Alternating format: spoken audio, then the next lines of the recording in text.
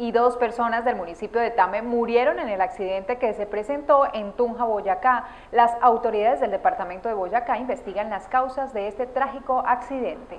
Un accidente de tránsito se presentó en la vía que comunica el municipio de Tame con la capital del país, donde murieron dos jóvenes oriundos del municipio de Tame.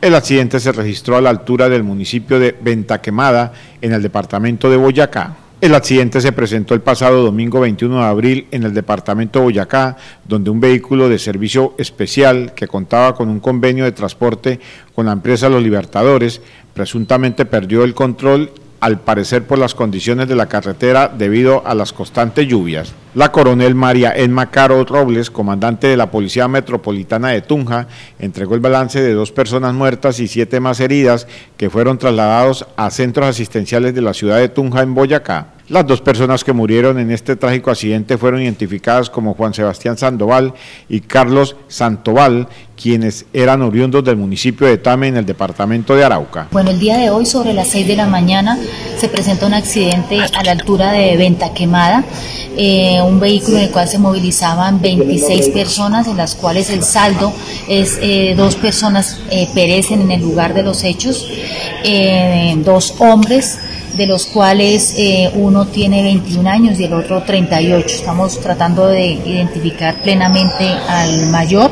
El joven de 21 años, Juan Sebastián Santoval Villamizar, es de señalar que fueron trasladados a los hospitales de Samacá, de la Clínica Los Andes y del Hospital San Rafael, los heridos que están eh, siendo atendidos. Hay dos que revisten complejidad, una niña de 15 años y otra mujer que eh, recibieron unas eh, afectaciones muy eh, graves en su cuerpo. El automotor de placas SWP 303 de la empresa Los Libertadores, que hizo la parada en la terminal de transporte de Tunja, dejó allí a cuatro pasajeros y prosiguió su viaje hacia la ciudad de Bogotá, accidentándose en el hecho en la que perdieron la vida dos personas, otras más resultaron heridas y fueron trasladadas a un hospital. lo que manejamos preliminarmente las causas de este accidente eh, inicial es que eh, son factores del clima, había bastante niebla y fuera de eso estaba lloviendo copiosamente a esta hora. Entonces es lo preliminar. Sin embargo,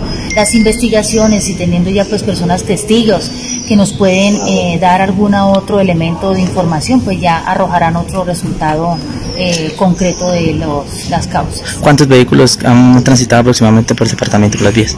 Bueno, hemos, hemos notado que a corte el día de ayer, eh, alrededor ya llegando a 200 mil vehículos se movilizaron sobre la doble calzada y durante toda la noche y el día de hoy se espera de que esta cifra se empiece a incrementar, no sin antes haciendo el llamado pues al tema de respetar las señales de tránsito y hacer los llamados a las líneas de emergencia que están establecidas, numeral 767-123 y la línea 156 para alertar cualquier situación. Las autoridades en el departamento de Boyacá vienen avanzando en las investigaciones en el lugar de los hechos para establecer las causas de este fatal accidente que enluta este domingo de Pascua a dos familias del municipio de Tame.